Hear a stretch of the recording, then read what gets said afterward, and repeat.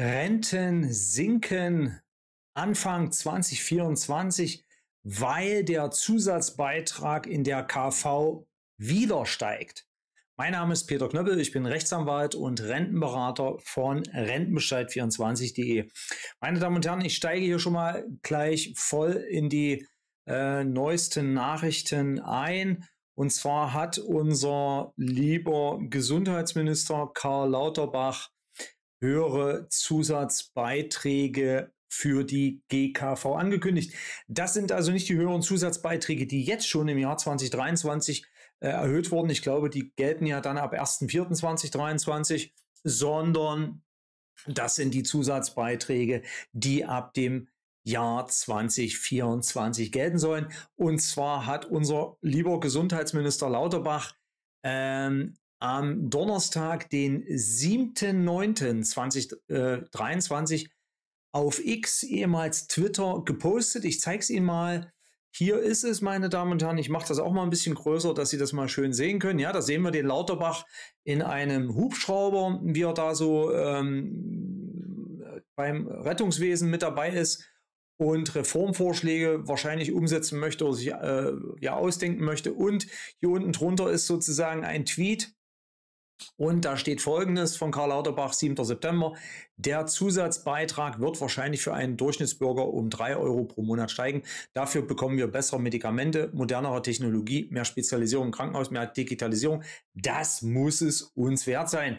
Ja, Herr Lauterbach, das ist ja alles gut und schön, aber für unsere Rentnerinnen und Rentner im Jahr 2024 hat die nochmalige Erhöhung des Zusatzbeitrags in der Bandbreite von 0,2 Prozentpunkte bis 0,4 Prozentpunkte, äh, aber auch für Arbeitnehmerinnen und Arbeitnehmer fatale Auswirkungen. Das heißt also, die Nettorenten werden im Jahr, äh, im Jahr 2024, je nachdem, wann dieser Zusatzbeitrag dann auch tatsächlich ähm, rechtskräftig wird, deutlich, also sinken, auch wenn es nur um 3 Euro sind, wie Sie ja hier äh, feststellen oder wie auch immer.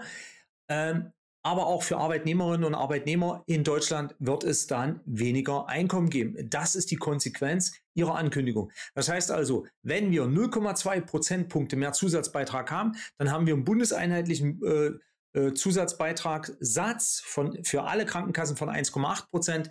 Aktuell im Jahr 2023 sind es, glaube ich, 1,6 Prozent bundeseinheitlicher Zusatzbeitrag.